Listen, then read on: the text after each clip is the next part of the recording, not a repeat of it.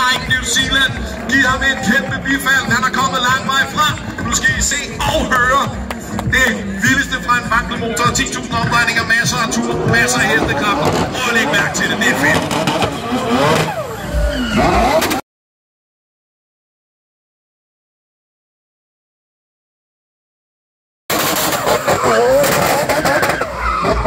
Oh,